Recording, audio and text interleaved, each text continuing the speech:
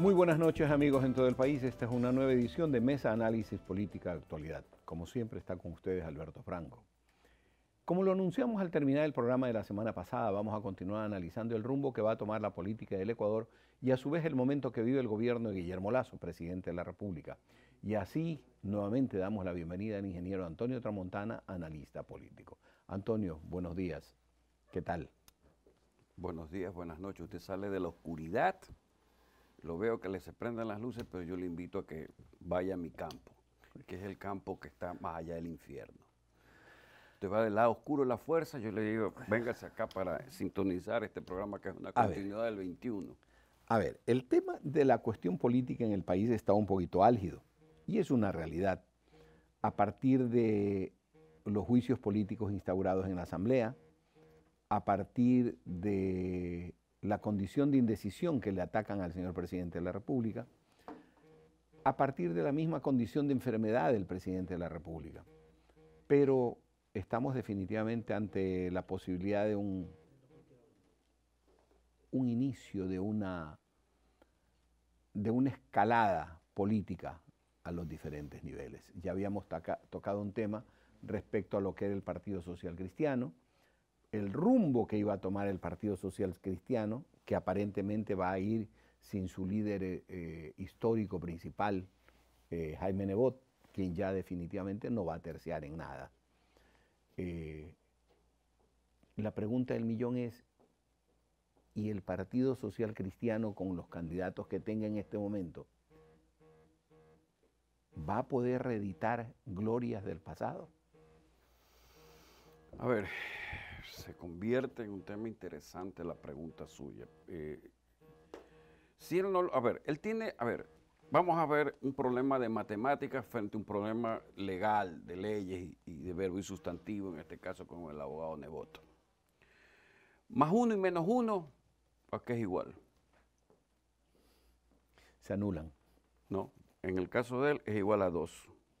¿Por qué? Porque tiene que la reelección de la alcaldesa y la candidatura, porque no es reelección de la prefecta. algo tiene que perder en el camino. Ahí está el verdadero problema. La gloria, cuando usted llega a la gloria, tiene que retirarse con la gloria. No puede exponer la gloria. Él ha cometido tres errores en el pasado. Uno que lo demostré, que fue la no candidatizar al señor Polo Bacarizo prefecto. Número dos, no fue candidato entonces, ¿con qué poder de convocatoria puedo decirle voten por mí si no fue candidato cuando él era el ungido? Y tres, desbancó, la sacó de circulación a Cristina Reyes. Entonces, más uno y menos uno es igual a dos. Ahí viene una cuestión interesante. Líderes no líderes dentro del partido, porque en el partido creo que el, Jaime Nebot no acepta más líder que él realmente, o son líderes los que él acoge a su, alrededor. Y así funcionan realmente los partidos en, el Ecuador y en América Latina. No estamos descubriendo la pólvora en ese sentido. Pero personas que han sido tradicionalmente fuertes dentro del partido, como Cristina Reyes, como eh, el ex prefecto Lapenti, Poliugarte. Eh, Poliugarte, se han abierto del partido y han ido por otras sendas políticas. César Ron. César está fuera. Eh, ¿Qué va a pasar con toda esa gente? ¿Se llevan electores? ¿Se llevan capital político? Por supuesto tienen un capital político. Es decir, aquí hay que, a ver, hay que ver las cosas desde el punto de vista. ¿Qué es capital político y qué es político? El capital político es, ¿tienes los votos? O el partido te da los votos, o el político es tú tienes los votos. Son dos cosas diferentes, porque usted puede ser por excelencia un buen candidato, pero no son sus votos, se los vota el Partido Social Cristiano. Entonces, eso es que hay que encontrar el andarivel donde se encasillan y dónde están ubicadas esas situaciones. Aquí viene la pregunta del millón. Entonces, ¿cuál es la votación dura del Partido Social Cristiano?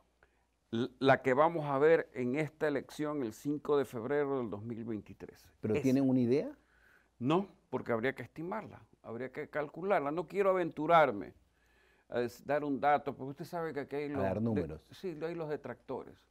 Entonces vienen del lado oscuro de la fuerza, los acólitos que entendieron mal, interpretaron mal, y yo soy enemigo del partido. No, ya estoy harto, por eso dije bien claro. Y cuénteme una cosa, ¿hasta qué punto ese capital político del Partido Social Cristiano, accediendo a la misma definición que usted ha dado, está compartida con el correísmo? Eso yo creo que es una leyenda urbana. O sea, yo creo que la fuerza de lo que hoy representa UNES o el correísmo es una fuerza del exmandatario con su capacidad de liderazgo, que no hay que dejar de reconocerlo, a quien yo lo he llamado el Robin Hood foráneo. Ya, eso no hay que negar, que eh, a nivel loca- o sea, a nivel nacional, ojalá no me equivoque en la estimación, es un 15% de piso que siempre está inactivo y se activa. Con, con pruebas que han sido clarísimas, la del señor Arauz en la, en la elección pasada, la presidencial. ¿Qué activa ese, ese capital político del correísmo? ¿El recuerdo? ¿Realmente algún tipo de obras que haya hecho? ¿Qué lo activa? Sí lo activa eso, porque recordemos o entremos en el pasado y veamos el presente o el futuro. ¿Qué es lo que va a suceder? Que en este futuro en que está el gobierno del actual mandatario no es igual a esto. Entonces, ¿qué van a decir?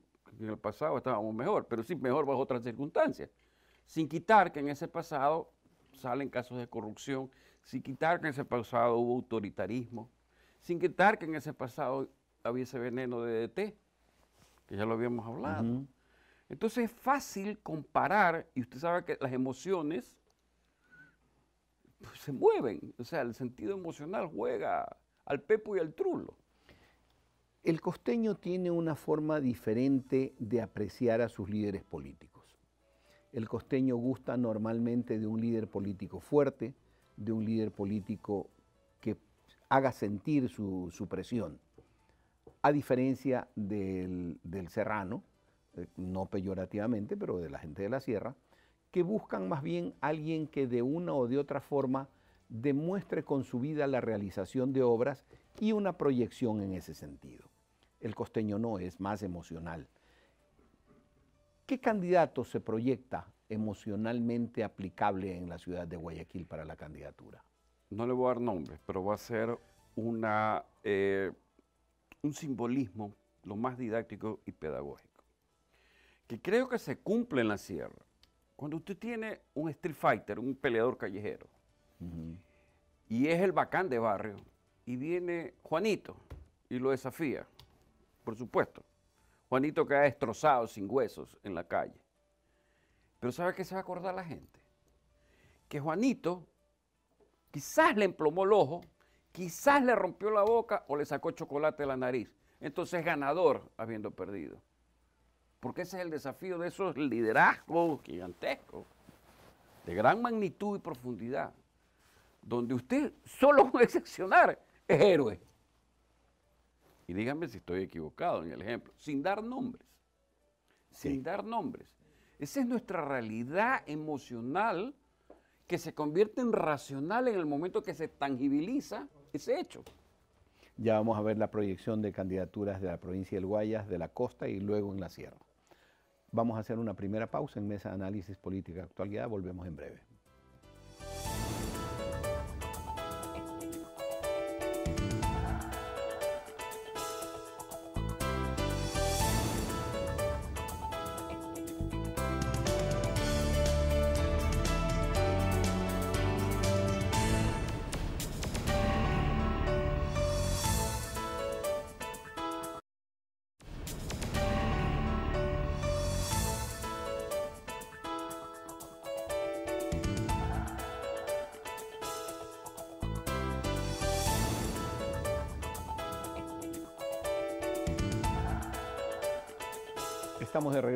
Análisis Política Actualidad junto al ingeniero Antonio Tramontana, analista político. Antonio, ¿cómo podríamos llegar a determinar la posibilidad de la reelección de la señora Viteri, la posibilidad de la reelección de la señora González eh, que representan pues, al partido político más fuerte de Guayaquil, del Guayas. ¿Tú crees de que esté cantada esa reelección? Esa reelección con las reglas actuales del CNE, donde tiene que haber debate, se van a definir en ese momento. No interesa que usted esté primero o segundo. Y quien le habla como consultor político prefiere estar segundo. Ya cuando quiero estar primero es cuando ya sé que la tendencia va para arriba. Pero si estoy hasta tercero, me preparo bien para ese debate. Ahí se va a definir toda la campaña. La regla del Street Fighter. Por supuesto. Más que eso, es la misma regla, míreme a los ojos. Es la misma situación de Andrés. Eh, no mientas otra vez. Lo que pasa es que el señor Arau se olvidó decirle porque su esquina no lo preparó para decirle, Guillo, a ti te interesa el bolsillo y se acababa la elección y ganaban ellos. ¿Me explico? Ya. O sea, mire los tiempos y las frases, eso se llama preparación de contenido, porque usted está ante uno dice, me van a decir, pero no todo el mundo mira la, televisión. Y yo le voy a contestar, no hay peor cosa que las redes sociales. Y yo creo que el Padre Nuestro, que, está que es la, eh, la, oración que todos tenemos y conocemos, dice, y librámonos del mal y coma de las redes sociales. Estamos claros. ¿Tanto cree usted que pesan las redes sociales en una campaña política aquí? A ver, la telemática de las redes sociales sí son importantes, porque usted ve por dónde va una tendencia, en dónde está pegando. Yo soy del criterio todavía de que territorio manda, entrevista manda, lo que se llama el free media, pero al final no tengo que negar que las redes sociales son como el condimento que usted tiene que poner a un ceviche, que le tiene que poner a un seco de chivo, que le tiene que poner una guatita. Es la última cereza. Por supuesto. No la niego. Más, allá que, más allá que no soy un experto, pero sí entiendo los números perfectamente. Porque las redes sociales, dada la difusión del Internet en el país, las redes sociales tendrían acceso a un 40% de la población, a lo máximo. Sí, tienen, pero tienen segmentos muy bien ubicados, como el segmento de los millennials, que creo que representa del padrón el 30%. Entonces usted tiene que leer en base a qué cosa? A porcentajes. Yo recuerdo claramente que en mi última clase aquí con George Washington, a la maestría de gobernanza, que la católica tiene la ventaja de ser muy buena, mi clase comenzó diciendo así, señores, en cinco segundos dígame cuál es el 10%, el 50% del 100. El que primero me le decía lo exoneraba. Eso hay que saber leer. ¿Cuál es el 10%, el 50% de 100? ¿Me explico? Entonces, usted cuando tiene números y sabe por qué se originan los números, tiene que ser así. No puede perder el ritmo. Pasando a otra parte dentro, dentro del posicionamiento de los candidatos. Los candidatos que están en este momento en la palestra, ¿hasta qué punto va a pesar dentro de eso, hasta qué punto va a pesar la situación o la condición de género, la condición de antigüedad de partido, eh, la condición de obras realizadas. ¿Hasta qué punto va a pesar todo esto? A ver, el componente del voto duro, que ahora lo analizo bastante bien, es todo lo que usted me dice. ¿Cuánto de obra? ¿Cuánto de liderazgo del partido? ¿Cuánto de la personalidad? ¿Cuánto de todo esto? Ese es el voto duro. Que usted tiene que analizarlo, bueno, hasta dónde es duro. Y que tiene que ver cuando usted dice voto duro, ¿cuánto perdí pues también? A ver, me eligieron con 60%, pero ahorita estoy en el 40%. ¿Y ese 20% dónde está? ¿Por qué se fue? Eso es lo que tiene que analizar. Entonces, abre el abanico de los votantes y de los electores. Y va a decir, voto duro, voto posible, voto blando, voto imposible. Entonces, en la cantera de los indecisos tiene que extraer justamente sus votos. Es posible que dentro de la prefectura, para ganar el tiempo, que dentro de la prefectura la, pelea realmente se dé entre la señora Guiñaga, entre el señor Lapenti y la señora González. Por supuesto. Solo entre los tres. Por supuesto. El, caso de Nicolás Lapenti es el caso de la famosa frase de MacArthur cuando llegó a, a las Filipinas. Los viejos soldados nunca mueren, tan solo se ausentan, pero regresan. El caso, el caso de la señora Guinaga es el caso justamente de un piso de un 15% que puede tomar una tendencia. ¿Qué tan posicionada la ve a ella? Mientras exista el partido UNE y exista el liderazgo del ex exmandatario Correa, no hay ningún problema. La señora González entra a su primera elección. Natural. ¿Y? Creo que es su primera elección porque fue fórmula. Creo que se definiría así el hecho. ¿Y qué cosa? ¿Y cómo la ve? La veo casada con el señor Antonio Sola. Ojalá me tenga que hacer la campaña a alguien aquí en Guayas. Eso es un reto para mí que tengo que tomar la decisión. Con eso le he contestado todo. No entro en, no entro a ahondar ese, ese tipo porque me, me da la impresión de que hay alguna diferencia fuerte. Eh, hay una diferencia fuerte, sobre todo de un comentario que hubo en su momento, que yo no soy ni canalla ni cobarde para hablar mal de las mujeres. Y eso me molestó. Y hasta ahora lo tengo como espada de Damocles.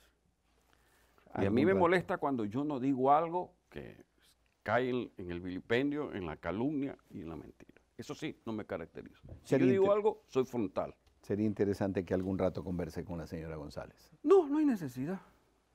¿Para qué vamos a conversar? Bueno, entonces me dicen de producción que es momento de hacer una nueva pausa para luego continuar ya con lo que está pasando con el gobierno nacional. Perfecto. Es momento de hacer una nueva pausa y retornamos en breve con Mesa Análisis Política y Actualidad.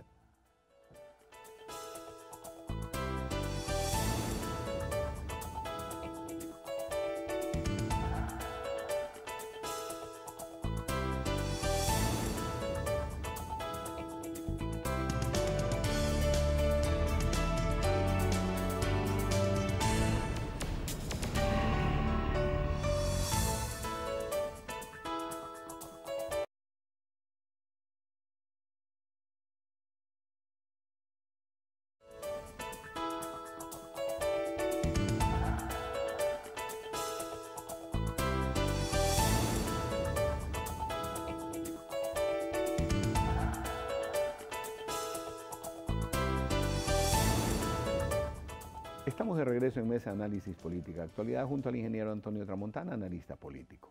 Disparando de entrada, como a usted le gusta, ingeniero, ¿qué está pasando con el gobierno del señor Lazo? ¿Está bien? ¿Está por buen camino? lo que está ocurriendo en este momento de que tiene tanta crítica que le dicen a Guillermo Lazo, que le falta frontalidad, que le falta decisión, que tiene que comerse la asamblea, que tiene que tumbar a los asambleístas, que tiene que meter una consulta popular para poder destruir lo que queda, y muy fuerte, del correísmo, etcétera, etcétera, etcétera. Déjeme saborear el agua en este momento que hubiera querido que sea gin o vodka. Me permite un momento ilusionarme. ¿Qué le sucede? Si quiero yo resumir algo que le pueda causar a, Escosor, al actual mandatario, es muy sencillo. Usted y yo, de alguna medida, en nuestra vida de juventud o de chicos, tuvimos algo que nos preciamos. Calle, esquina, barrio, quiño, piedra y palo.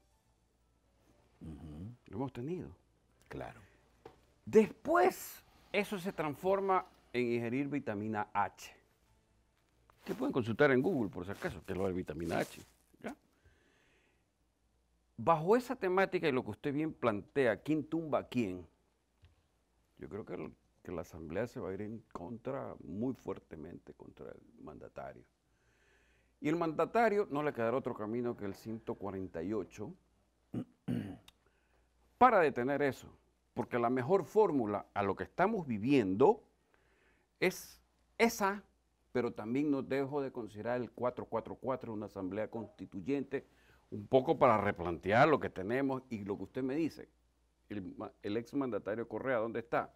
En eso. Esto, en cierta forma, hay que darle otro giro a esto. ¿Cuál es el 148?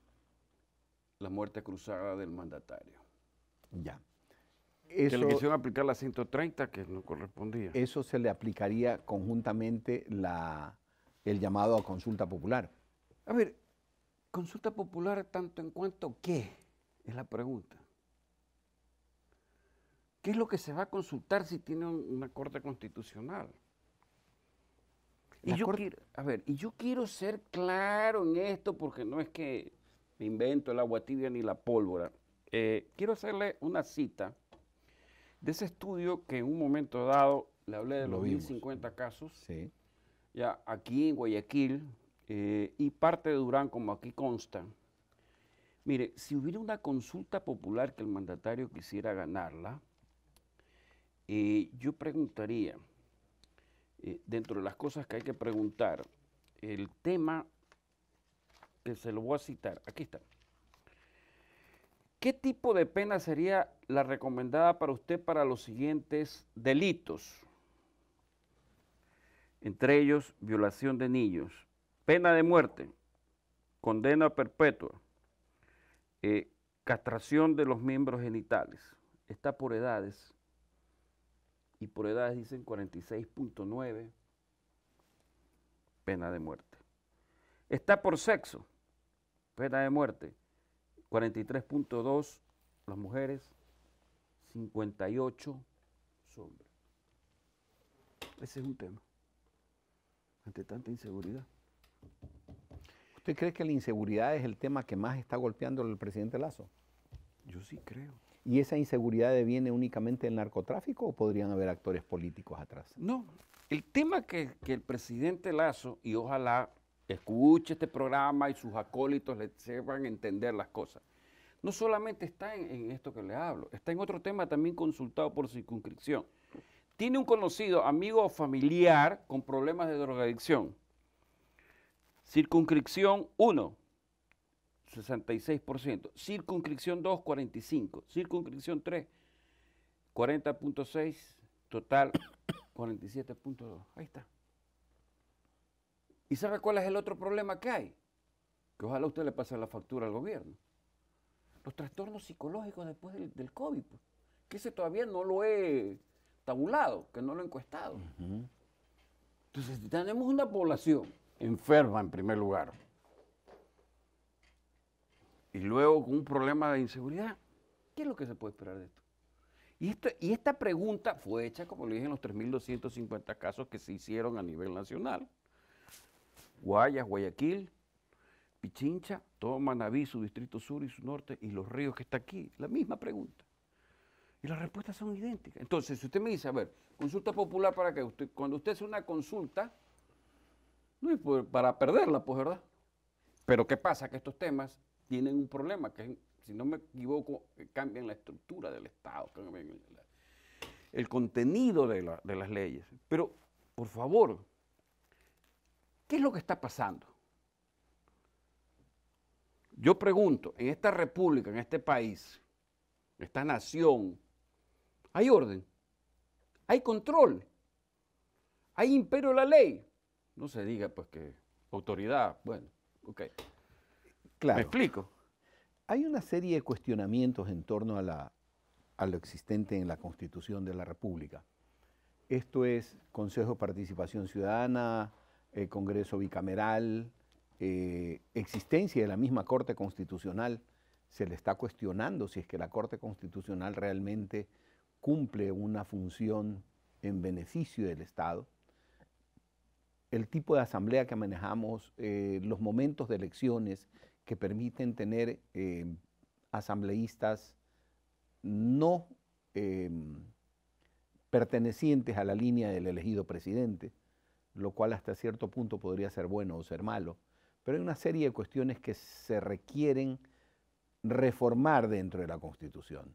¿No cree usted de que en caso de una disolución deberían de ser consultadas al mismo tiempo? ¿Eso incluso le daría fuerza al presidente? Cualquier parche, llámese reforma, asamblea constituyente, lo que sea, tiene que considerar básicamente algo. Todo lo que tuvimos con el periodo después de la asamblea constituyente es crear derecho cuando no habían los hechos. Y el mundo se mueve del hecho al derecho. Ya tenemos por los hechos ahora sí. Hay que construir el derecho en base a Por eso. supuesto. Abogado Franco, usted mejor que yo sabe cómo son las leyes, en su forma dogmática y pragmática. Luego de, la, de que culmine el periodo del presidente Lazo en cualquiera de sus formas, bien sea eh, que culmina sus cuatro años o con una reelección, etcétera, ¿qué tendría el país? El país requeriría qué? volver a un socialismo, debemos de construir la nación desde el socialismo de Correa o debemos de construir una nación dentro del libre mercado. ¿Por dónde deberíamos de ir? ¿Qué piensa De las usted? dos formas, tiene que haber una tendencia hacia lo social, no hacia el socialismo, a pensar en lo social. Pero el libre mercado no debemos abandonarlo. po. Pero es sencillo. Usted va al concierto mundial financiero.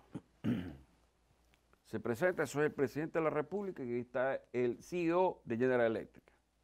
Yo necesito financiamiento. Mi PIB es 40 mil millones de dólares. Ah, qué bien. A ver, déjeme ver el señor, el CEO de General Electric. Bueno, yo tengo ventas por encima de 150 mil millones de dólares. ¿A quién le paran bola? Lo El problema, abogado Franco, es muy sencillo. El Ecuador es un aljibe o una cisterna. Entra agua, sale agua. Aquí está el que quiere ah, poner esto en orden y control.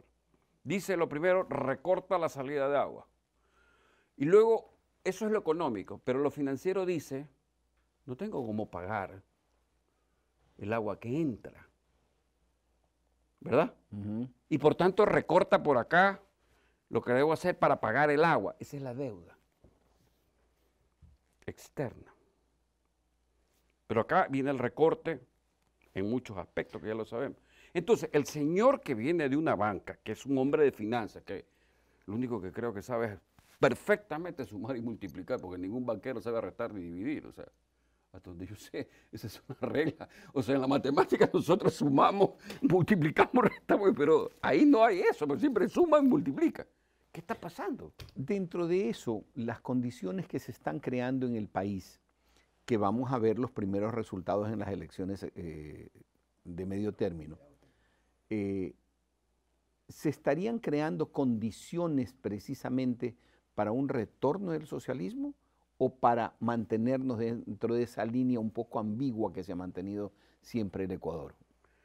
Podría ser que se mantenga con un retorno muy fuerte, porque eh, hay que ponerlo de esta manera. En esa línea del socialismo, con su capítulo y su sección eh, hacia otra inclinación del mariateguismo, si no me Sí. equivoco, y la otra del justamente ese socialismo del siglo XXI, se enfrentan dos Robin Hood, el foráneo y el criollo. Ambos dicen que el maná cae del cielo y se reparte. Pero eso no es la verdad. pues. Entonces, después de que usted ve que probablemente eh, la administración pública es absorbente, es un troglodita que a cualquiera que no está bien parado lo despedaza. ¿Qué es lo que puede pasar a la gente? Hay que ir por ese camino, supuestamente, hipotéticamente. No es que estoy diciendo que por ahí va a ser. Entonces va a ser la batalla de las batallas pues, para saber hacia dónde vamos. Una idea. El único, las dos únicas posiciones que se me figuran que no tienen que ver ni con el socialismo ni con el mariateguismo son, con nombre y apellido, señor Herbas y Yacu Pérez. ¿Usted cree que tengan opción? Yo creo que ya el impulso que le dio lo que leí en el anterior programa del 21, que es donde salieron esos votos, ojalá se mantenga. Ahora ya son pisando fuerte como en la canción de Alejandro Sanz. Tienen que pisar fuerte para hacerse sentir. Considero, y le voy a ser muy, muy franco como su apellido, que es lo que me- menos podría ser. Yo estoy estudiando la posibilidad, he encontrado dos potenciales en el sexo, sexo creo que es ahora, ¿verdad? No sé si me quedé en el sexo o género. En el género masculino que tendrían un potencial y he encontrado una persona en el sexo femenino que tendrían un potencial. Ojalá puedan hacer binomio. Eh, la persona que está acá una amplia trayectoria en lo social. Las dos personas que están aquí, por supuesto que eh, de, de, formación privada. Uno en leyes y otro pues en empresa privada, que no es malo estar en la empresa privada. O sea, aquel que se, se rompe y raja para crear una marca en el país. ¿Los nombres? No, por Todavía no. Sí, los estoy observando. Esperemos a ver qué pasa con el arranque de las elecciones. No, es que cuando termine las seccionales, que es otra de mis eh, causas por las cuales debo estar, eh, ahí comienza para mí. Porque, ¿sabe qué? El 148 no sé cuándo se va a aplicar. No sé el tiempo del Pero está seguro que se va a aplicar. A la larga. Porque usted, ¿para qué la consulta? ¿Para qué? ¿En qué momento va a ser la consulta del 444? ¿Y en qué momento va a ser el 4-4? También, pues esto es un problema. O sea, y, ¿sabe qué? Me estoy extendiendo. Pero recuerda este, la Asamblea ya en su comisión de, económica subió el informe de derogatoria de la ley tributaria vigente al plenario, sino que el plenario como que la sigue adobando para esperar el momento. Veamos qué pasa. Cuestiones todas estas que tenemos que verlas, que nos pinten el panorama para poder volver a sentarnos a ver cómo van las cosas. Pero esta vez con el gin o con el vodka. O el whisky, o el whisky. Agradecemos a nuestro invitado por haber estado con nosotros y a ustedes amigos por acompañarnos como lo hacen semana a semana. Por mi parte, nos encontramos en una próxima emisión de su programa Mesa de Análisis Política y Actualidad. Hasta pronto. Los dejo no sin antes entregarles un mensaje de paz. Busquen la paz de modo permanente. Es el único camino que tenemos para poder llegar a tener felicidad. Gracias, hasta otro día.